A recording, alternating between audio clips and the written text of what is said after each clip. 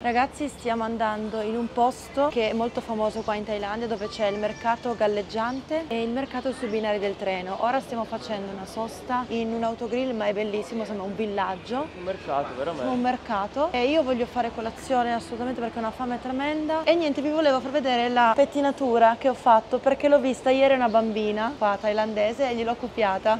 Ti piace? Siamo al Meklong Railway Market, il mercato che si svolge sulle rotaie del treno. Il mercato ferroviario di Mike Long, distribuito su una lunghezza di 100 metri, vende frutti di mare, verdura, frutta, cibo fresco e secco, carni e altri beni vari. Sono un po' fuori campo, da una parte mi dispiace perché abbiamo poco tempo per visitarlo. Vi porto all'inizio, questo è l'inizio, c'è Mirko. Stanno smontando già le bancarelle perché sta per arrivare il treno, guardate che smontano. Ma tu dove?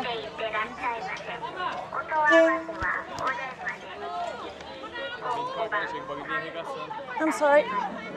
È aperto dalle 6 del mattino alle 18. Il mercato è chiamato Life Risking perché le sue bancarelle sono collegate alla ferrovia. I venditori sul mercato mettono fuori ombrelloni o tele per proteggersi dal sole. Quando arriva il segnale del treno si verifica il caos. I venditori si affrettano, chiudono i loro ombrelloni e sgomberano le merci. Una volta passato il treno, le merci vengono nuovamente messe nel loro solito posto accanto alla ferrovia.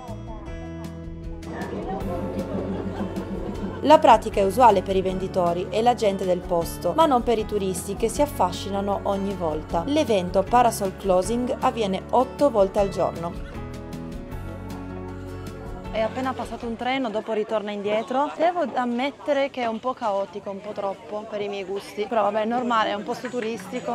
Adesso il treno arriva alla stazione e ripassa e torna indietro, quindi stavolta mi voglio sistemare più comoda per fare le riprese al meglio. Noi siamo venuti qui con una visita guidata, comprendeva il treno sui binari e il floating market che dopo vedrete. Sono le 11 di mattina e sembra già che io abbia vissuto tre giorni di vita. Guardate i miei capelli, la mia maglia sudata. Sono le 11.25, alle 11.30 ripassa il treno di prima. Noi ci siamo già posizionati dietro questa linea rossa, così siamo al sicuro per quando arriva il treno. Adesso io qua di qua non mi sposto più, guai se mi dicono qualcosa, guai. Era la prima volta in Thailandia, quindi ho, ho fatto come potevo, però se tornassi indietro non farei più il viaggio qui alla stazione di questo treno organizzato, ma verrei da sola, proprio con un treno in questo paesino vicino a Bangkok. Non verrei più col viaggio organizzato e soprattutto non a quest'ora. Verrei mattina presto. Mi, lui è come te che fino all'ultimo vuole stare all'ombra, secondo me. o, sta, o sta raccogliendo il pizzo. Credo che, cosa raccoglie questo signore? Vorrei chiederglielo a questo qua. Ragazzi, Eccolo, eccolo. che arriva.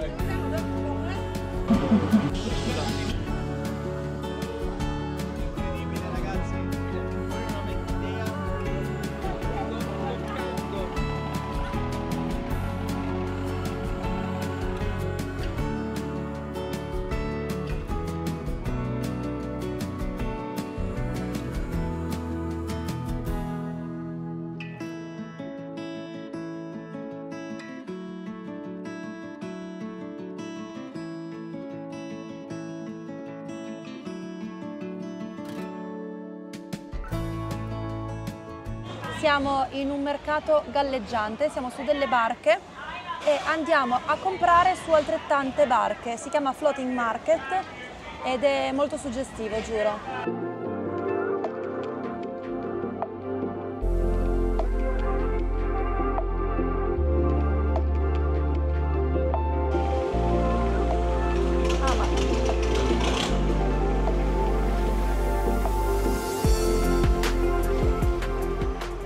Pazzesco, cioè penso sia una delle cose più belle che ho visto nella mia vita.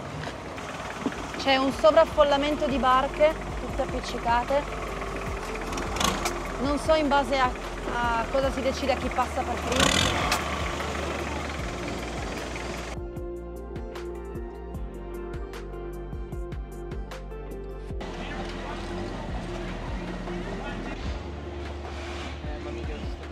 Praticamente vi vendono...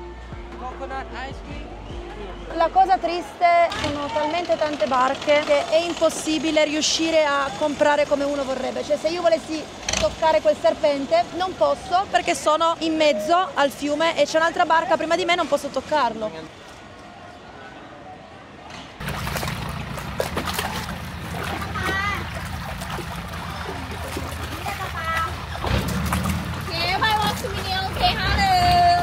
Floating Market sorge lungo un piccolo canale nel bel mezzo della campagna a un'ora e mezza da Bangkok. È utilizzato in prevalenza dai locali che con le loro barche a remi piene di prodotti alimentari arrivano direttamente al mercato dalle loro fattorie. Si tratta di un mercato mattutino aperto tutti i giorni dalle 7 a mezzogiorno. Il mercato è raggiungibile in auto o in taxi, in alternativa ci sono degli autobus che partono ogni circa 40 minuti. Abbiamo fatto il giro in barca, vi parlo adesso perché siamo più tranquilli, non ho paura che mi cada l'attrezzatura nel fiume. Vi giuro che durante il, il, giro in barca ho avuto mille volte la paura che mi cadesse la roba fiume, nel fiume ho detto boh, sono finita, finita la vacanza. Dunque, ora siamo in un parcheggio, abbiamo 50 minuti di tempo all'incirca, facciamo partire il drone perché vogliamo fare le riprese con il drone sul fiume e poi spero di avere il tempo di andare a mangiare qualcosa perché inizio già a sentire un languorino, dopodiché torniamo a Bangkok. Purtroppo quando fai le cose con il viaggio organizzato è sempre così, non hai il tempo materiale per fare tutto perché devi stare dietro i tempi prestabiliti, quindi essere, è tutta una corsa.